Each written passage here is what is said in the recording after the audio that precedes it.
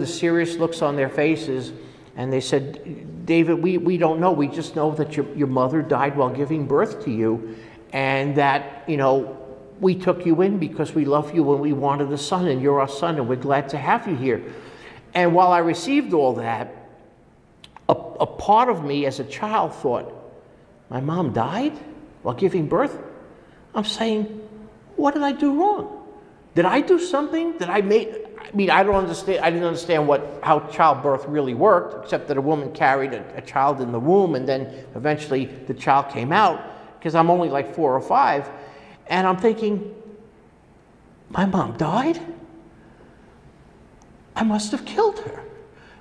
What did I do wrong? Did I maybe, I asked, like, did I hurt her? Did I hurt my mom? Did I kick her? Did I come out wrong? Did, it, something, did I scratch her? Did I poke her?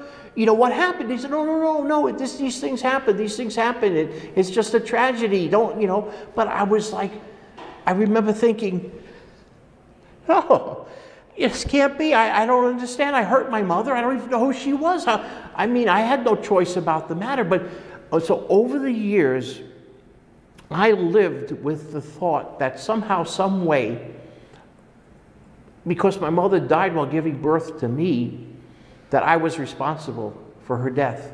I couldn't fully comprehend these things at the time, but this is where I was at, you know, mentally and emotionally. What did she die of? Cancer.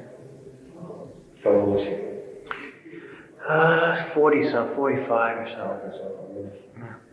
Did you feel like on top of having caused your biological mother's death being born, did you feel like it also had caused your Mm-hmm.